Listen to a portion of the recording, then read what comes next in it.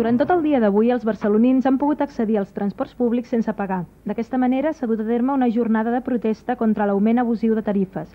Aquesta jornada l'han convocada més de 200 entitats, entre elles la Plataforma Pro Defensa i Potenciació del Transport Públic, formada pels sindicats Comissions Obreres i UGT i la Federació d'Associació de Barcelona, entre d'altres.